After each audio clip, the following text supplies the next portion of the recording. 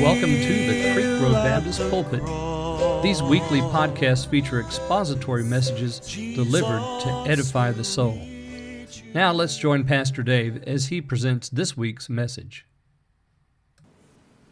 If you'll take your Bible and turn with me to Numbers chapter 24, we're going to read the first two verses as our text, but we'll sort of um, We'll visit with chapters 22 and 23 as well as we proceed through the message today.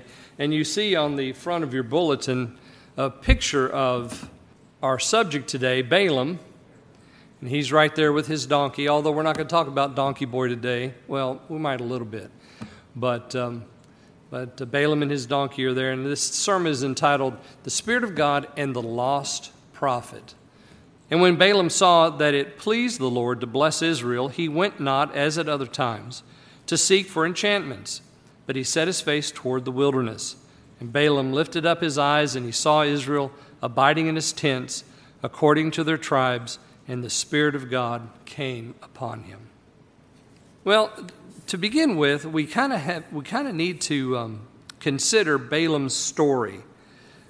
Now, you go back to chapter 22, and Balaam is introduced there. I think it's right there in the first in the first verses of chapter 22.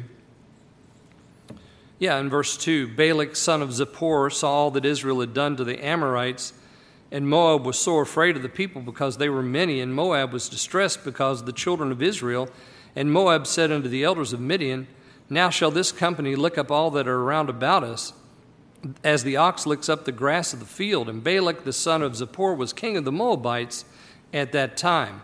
And he sent messengers therefore unto Balaam son of Beor to Pethor, which is by the river of the land of the children of his people, to call him, saying, and then we have the story of the calling of Balaam there.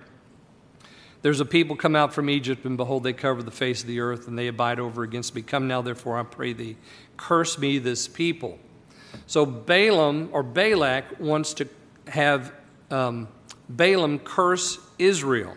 Now you can understand the fear that is present here with this man, Balak. It says that he saw them destroy the children of the Amorites. That is, he saw him destroy the king Og and the king Bashan, or the king Og and the king Sihon. So he saw that happen. Nobody had ever done that. This, these kingdoms were untouchable, untouchable. Nobody could do it. Nobody could, nobody could defeat those guys. And yet here comes Israel, fresh up out of the desert, and what do they do? They burn them to the ground, take their property, take their castles, take their homes, everything. They just they completely wiped them out. And so Moab looks at that and they say, "Uh oh, we have us a problem." And so he calls and he says that we can't do it militarily, so let's do it spiritually. I'm going to get somebody to curse them. And if they're cursed, then I might be able to beat them. Or if they're cursed, they just might fade away, die off, go away. That's all he that's all the king of Moab wanted. He wanted them to go away. You know, he didn't want that problem on his doorstep, but they're there. So he goes to Balaam. Balaam you know, the story of Balaam, he lives in a place near the Euphrates River, probably right there on the western side of the Euphrates River. And he goes and he calls him, and he's got a reputation of being somebody who can bless and curse. So he goes for the very best guy to do the job. Now, we learn more about Balaam in the New Testament, more about his character than we do here in Numbers 22 through 24. Because in the New Testament, Peter, uh, Jude, and John all talk about Balaam. They all refer to Balaam. The, uh, Peter calls us, talks about the error of Balaam, and Jude talks about the error of Balaam, and John talks about the doctrine of Balaam, how he taught the uh, children of Moab to cause Israel to sin. And so we understand a little bit more about Balaam. He is not a nice man. He is a man who has a heart full of greed. He is a man who has a heart full of adultery. And he wants to teach the Moabites how to cause the Israelites to sin because he knows that that's the only way that God will curse them is if they sin against him. Well, that's what he thinks. Of course, that's not going to happen. So we understand who Balaam is. 2 Peter, by the way, chapter 2, Jude, verse 11, and Revelation 2, verse 14. There in the letters sections where you have these mentions of Balaam. Josephus, actually, not an inspired source, I know, but one of the early historians, tells us about Balaam and actually has a very lengthy section about what he taught Balak and the Moabites to do. He told them to take the most beautiful young maidens in their country and to dress them up in the finest and to send them into the outskirts of Israel, the borders. He said, And if you do that, then the young men will come out to greet them. And of course, that's what happened according to Josephus. The young men came out, and the more they had relations, you know, just talking and, and and palling around with these gorgeous Moabitish women, then the more the young men wanted to marry them. And so when they got to that point, and this is according to Josephus what Balaam told the Moabites, when, they, when the young men got to that point, then the young women of Moab were instructed to say, Well, we can't marry you unless you come and you worship our gods and you have a feast for our gods and then perhaps we'll consider uh, marrying you. And so the young men who, by that time, were, you know how you are, young men, when you're young, you're, you're a little inflamed with passions, maybe overly so sometimes. And the young men just could not, could not see their future without these young women as their wives. And so they went and they sacrificed. And then they got more people to come. And it just, it was like a snowball and all everybody now was going to sacrifice to the gods of the Moabites. And then you have the circumstance where, Cozbi, where um, one of the uh, children of Israel brings in Cozbi, the uh, Moabitish lady, and then Phineas stops the plague by killing Cozbi and the man. And so it's, a, it's that story, but it all begins with Balaam's advice to the Moabites. So Balaam's not a nice guy. Uh, he wasn't a nice guy back there in chapter 22 uh, when the people came back to him a second time and he said, I want to go with him. And God said, Okay, whatever, have what you want, go with him. Go with him. And so he went with them. And, and then you'll notice here in our passage, look at uh, verse 24, or chapter 24, verse 1. And Balaam saw that it was good in the eyes of the Lord to bless Israel. He saw. That word that's translated saw or to see here in the Hebrew text means to see, just like it's translated or saw, but it, it, we find it throughout the story of Balaam. Actually, Balaam's story is a story about sight and no sight. And it begins in a very peculiar way with the donkey in Numbers chapter 22, in verses 23 and 25 and 31 and 33, we have the story of Balaam and his donkey. And the donkey sees the angel in the way, and he stops. And the donkey says to Balaam, I saw the angel and I stopped. And then the Lord says, He opens the eyes of Balaam, and then Balaam sees the angel, and the angel speaks to him. And then when he comes to Balak, Balak in chapter 23, verses 9 and verse 13, tells him, Come and I'm going to put you in a place where you can see Israel. So in verse 9, it's the first time. In verse 13, it's the second time. And here in chapter 24, in verse 1, it says that he saw. So finally, Balaam's eyes are opened. Balak wants him to see, but he wants, he wants him to see Israel so he'll curse them. The donkey wants him to see the angel so that he won't beat him. But now, finally, in chapter 24, Balaam does see. He saw that it was good in the eyes of the Lord. Again, notice, notice how that the play on this. He sees that the, in the eyes of the Lord it's good. So, this idea of sight is all over Balaam's story, but it's really not a good kind of sight because Balaam really never sees clearly until we come to chapter 24, verse 1. In chapter 24, verse 1, you see the words there when Balaam saw that it pleased the Lord to bless Israel, or that it was good in the eyes of the Lord to bless Israel. So Balaam's sight is a part of the story here. But also, you'll notice that um, it's Balaam, it says that Balaam didn't seek enchantments. It said, He went not as at other times to seek for enchantments. What are the enchantments? Well, if you go back to chapter 23, he comes to Balak and they have a dinner, and then Balak sets him up on top of a mountain. And Balaam says to Balak, I want you to build for me here seven altars, and I want you to get for me seven oxen and seven rams, and you're going to sacrifice all of those on the seven altars. So they're on the mountaintop. They build these altars according to Balaam's specifications. They bring in the 14 animals. So you've got seven altars, seven oxen, seven sheep, or seven rams.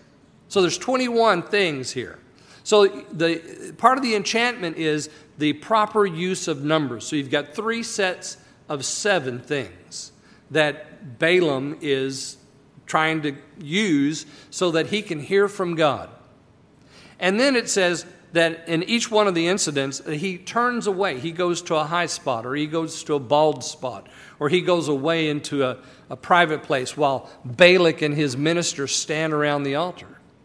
So that's another part of the enchantment so he's doing all these things, putting all these things in place the right numbers, the right time, the right position, the right people, doing the right things so that something might happen that he can hear from God.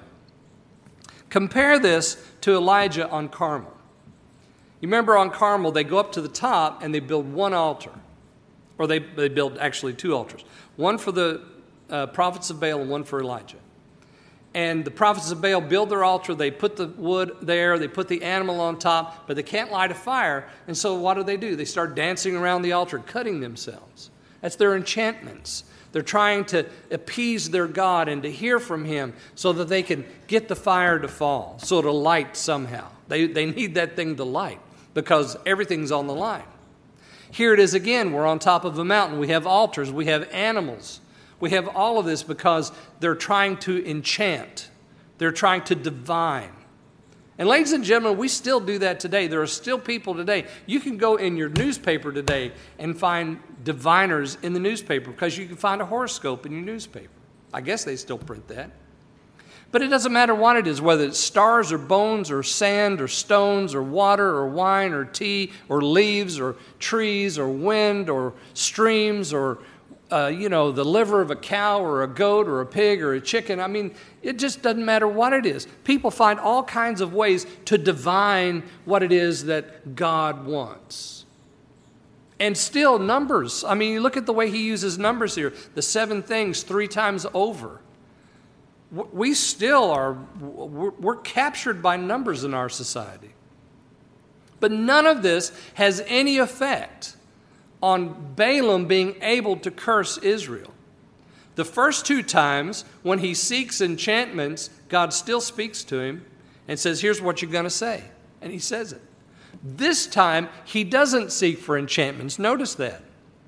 It says there in the verse in verse 1, he went not as at other times to seek enchant to seek for enchantments. So even though he had them build the altars and sacrifice the animals, he didn't trust that because he knew it was okay. God wanted to bless. It was good in the sight of the Lord to bless Israel. He wasn't going to get a word of curse for Israel from all of this stuff. He knew it. So he basically, it says, he turned towards the wilderness. That is, he set his face towards the wilderness.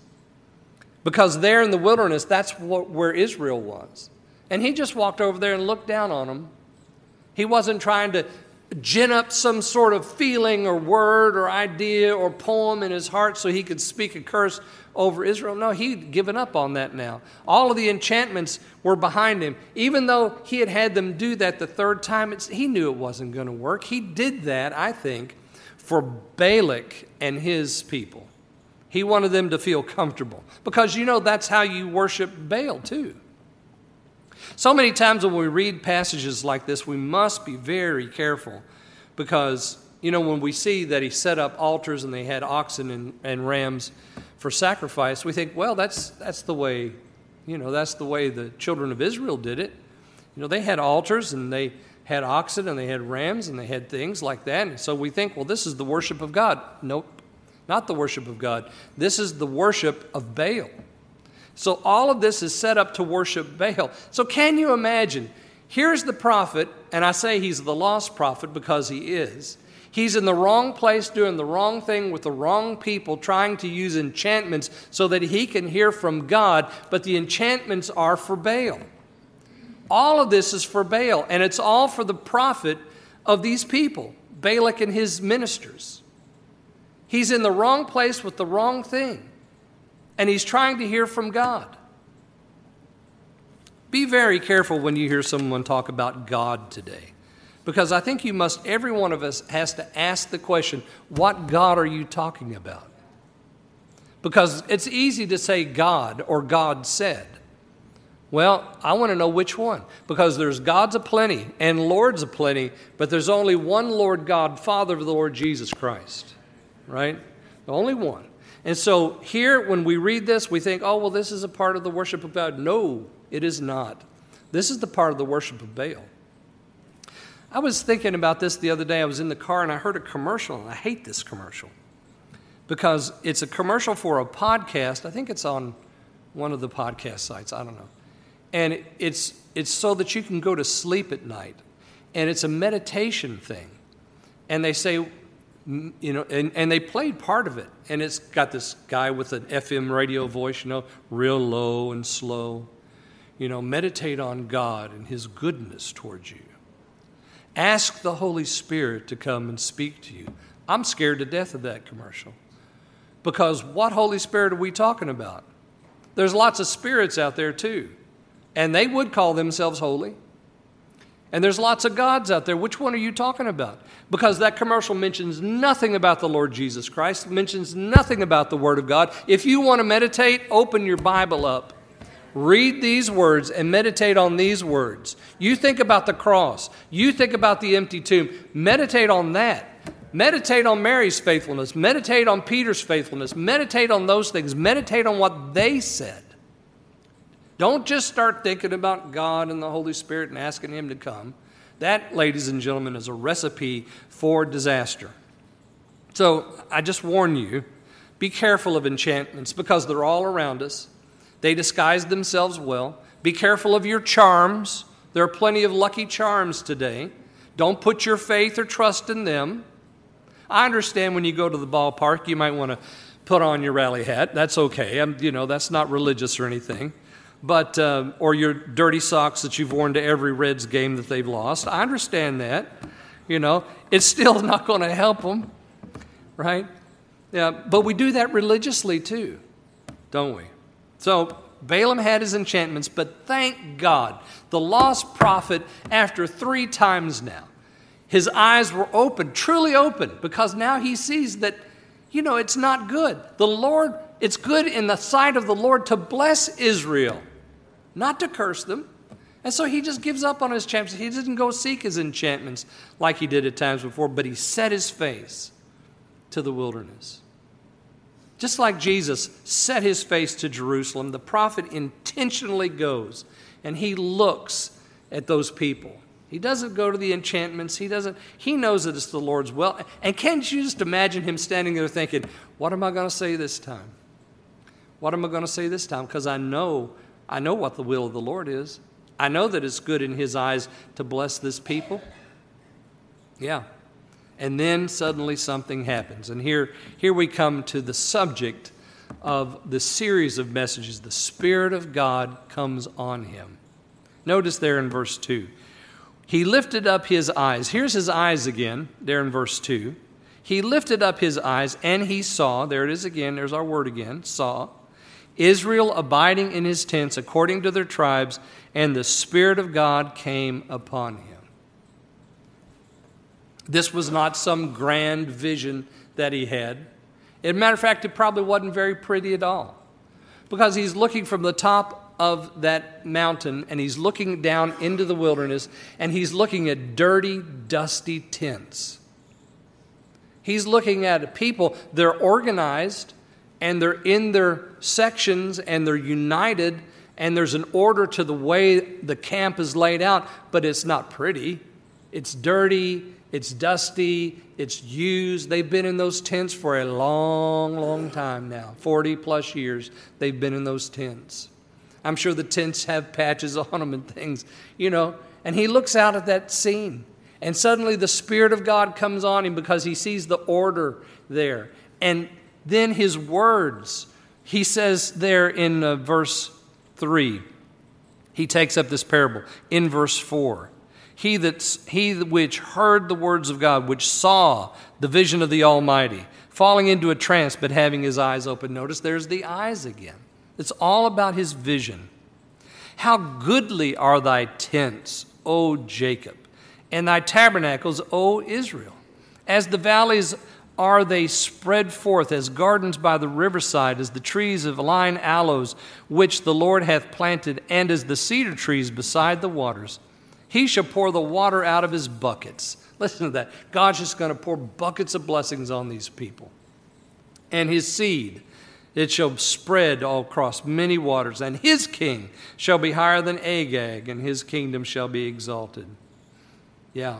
So this prophecy that he gives, and he's speaking, of course, in the presence of Balak, who wants him to curse Israel, but he doesn't do it. Why? Because the Spirit of God is on him, and he sees something that human eyes would not see.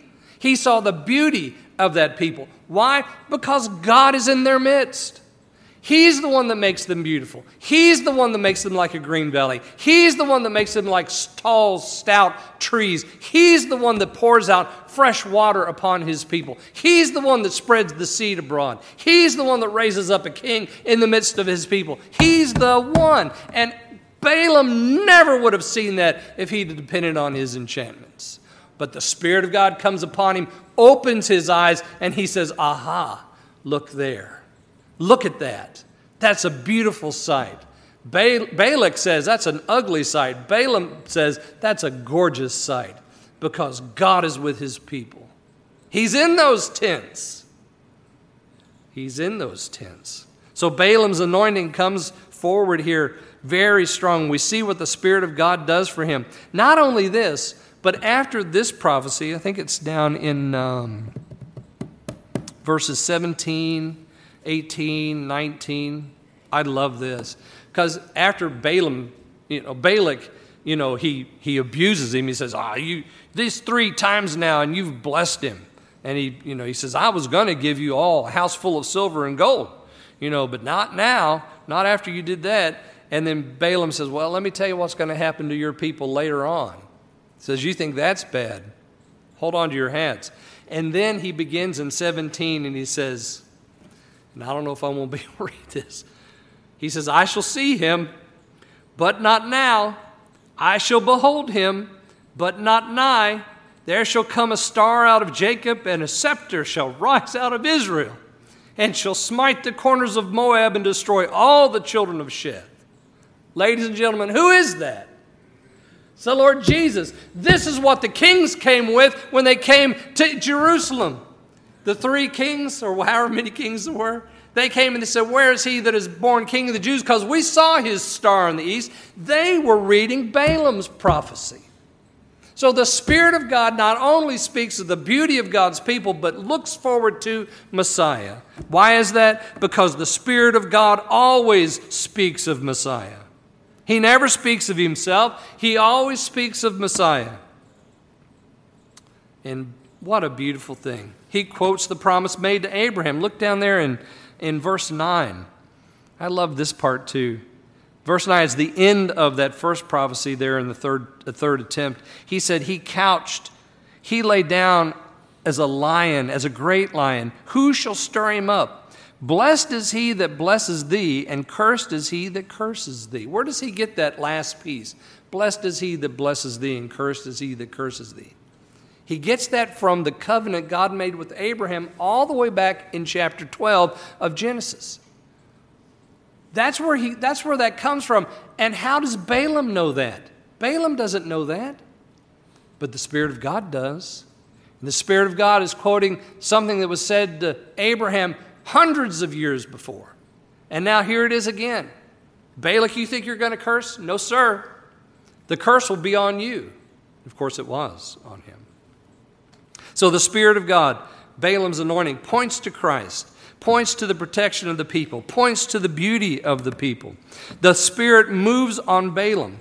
And I want you to notice, too, before I come to a conclusion here, that the Spirit of God moves on Balaam after he gave up.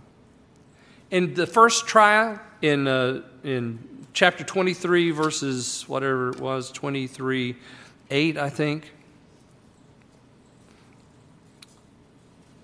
yeah, there, there in that first go round, he is seeking the enchantments, and God tells him, This is what you're going to say. The second trial there at the end of 23, he brought him unto the, unto the top of Pisgah and built seven altars, and there again he blesses Israel. But this time, even though they made these altars, he doesn't he doesn't even try for the enchantments and it's i think it's wonderful that the spirit of god moves on him after he just resigned himself to God's will. Ladies and gentlemen, that is always the way the Spirit of God comes on us. When we go in our own strength and our own cleverness and in our own enchantments and we try to do it our way and we try to have our own spirituality and me and Jesus, we got our own thing going. All of that, when we give up on that, then the Spirit of God can use us. Because when we say, I am the poor man, I am the, I'm the man who is in need, when we say, I am the one who lies in the dust, then the Spirit of God will speak through us and to us and indwell us. That's how we all came to Christ. Every single one of us came to Christ that very way.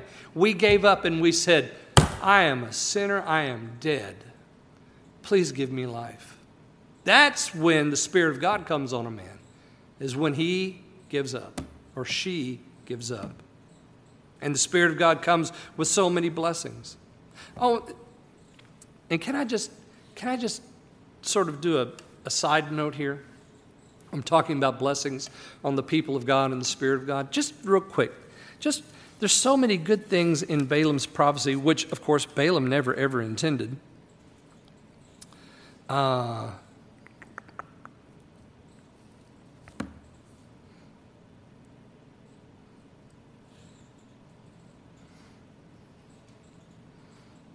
No, it's not that one. It's the second one. Yeah, there in the second in the second uh, blessing that Balaam gives the people, verse 19 is where that begins. God is not a man that he should lie, neither the son of man that he should repent. Hath he said, and shall he not do it? Or hath he spoken, and shall he not make it good? Behold, I have received a commandment to bless, and he hath blessed, and I cannot reverse it. He hath not, now here it is, verse 21. Look at this. Now, what he says about the people there in, in uh, the third blessing there in chapter 24, about their beauty and the blessing of God being in their midst and the king rising up, listen to these words too. He hath not beheld iniquity in Jacob, neither hath he seen perverseness in Israel. Now, hold on just a minute. Just a minute. I could take you to many places in Numbers, in Exodus, in Genesis where I saw plenty of perverseness in Israel. We can all go back and look at those places where the people mumbled and they sinned and they committed adulteries and they did all kinds of stupid stuff.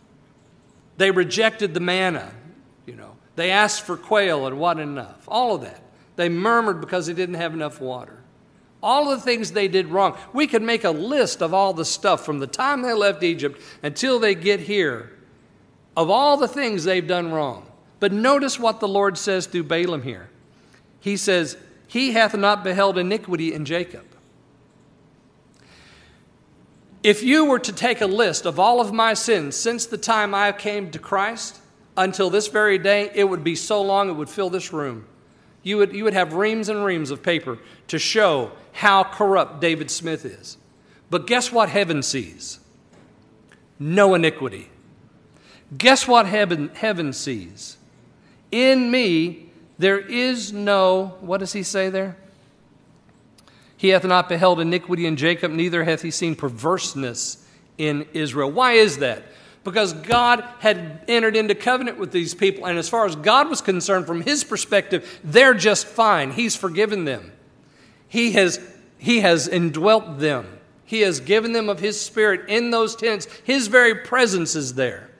Now, from the outside, the world looks at it and says, oh, look at that corrupt bunch. Oh, look at that bunch of nasty folk. Look at what they've done wrong. But God says, uh uh-uh, uh, those are my people. I don't see any iniquity in them. And if I don't see the iniquity, guess what? It doesn't exist. It only exists in the minds of those who are not indwelled by the Spirit of God. But God sees in us. So, ladies and gentlemen, tomorrow, today, whenever it is that you are in your prayer closet and you're grieving over some recent sin, Remember, it's you must repent of that sin, but in heaven, God says it's okay. I've taken care of it. I don't see it in you. That's his perspective. And sometimes those perspectives, our visions, are so different. He sees one thing, we see another, but it's his vision, ladies and gentlemen, that's eternal and that's lasting. He sees no perverseness, no corruption. I cannot, I, he says, I have not beheld iniquity in Jacob. God brought them out of Egypt. He, as it were, the strength of a unicorn. Surely there is no enchantment against Jacob. Neither is there any divination against Israel. According to this time it shall be said of Jacob and of Israel, What hath God wrought? Amen. And it will be said the same of the church. All right, let me move quickly now to my conclusion. Let's apply this. Number one, and I know we really didn't cover this much in the passage, but number one, greed, God will not have it. It's not a part of his plan. Balaam was working on the theory that he was going to get paid a bunch of money to do this thing. Didn't happen that way. Number two, enchantments. Be careful of your good luck charms. Be careful of the gods the people are claiming to worship and serve because may not be the same one that has saved you from sin. Run quickly from the modern day diviners, which are old traps into which many spiritually curious people fall. Be careful, run from them. You don't need to find somebody with a tarot deck. You don't need someone to look at the stars for you. You don't need anybody to read a tea leaf or to look at the the Chinese cards, or whatever those things are. You don't need any of that. Ladies and gentlemen, you have the Spirit of God within you. You need not enchantments to hear from Him. And if you really want to hear from Him, read, read your Bible. And if you want to hear from Him out loud, read it out loud. There you'll hear the Word of God. Many things call themselves God today, they are not. Be careful. Thirdly, sight. What a beautiful thing. It's a thing given only by God, and it comes with and by the Spirit of God. Sight is something that is given to the children of God. When we come to Christ and are baptized by the Holy Ghost into the body of Christ, we receive the sight of the Spirit of God so that we can see the things in His Word, so that we can understand the blessings that are ours, so that we can understand the covenant that we have been placed in, so that we can understand our future and our hope, and so that we can share with other people what it means to be in Christ. Sight is a beautiful thing, but it only comes by the Spirit of God. And fourthly, the Spirit of God only points to Christ, points to the blessing of His people and to Christ. Always the Spirit of God points to Christ. He is the heart of all prophecy, He is the center of all worship, he is the, he is the driving force of everything the Spirit of God does in and by the church. Our good works are empowered by the Spirit of God so that we might share the glory of God to the world. But the, all of that points to our Savior. Our worship is empowered by the Spirit of God so that we might point to the Savior. It's all about Jesus Christ. And the Spirit of God is the one who empowers it, who opens the eyes. And He is the one that calls us. As I said last week, we talked about effectual calling last week. He's the one that calls us. And He is working in folk here and abroad to call them to the gospel. He is speaking and opening eyes and, and softening hearts. As, uh, as the old uh, bluegrass writer put it, He's tenderizing hearts every day. The Spirit of God is working. And he worked through this man, Balaam, although, as I said, the lost prophet. But Balaam's end here is, at least part of it, is so good and gives us quite a legacy, a heritage, actually. Jesus will meet you. Thanks for listening to this week's message. Please join us again next time for another installment of the Creek Road Baptist Pulpit.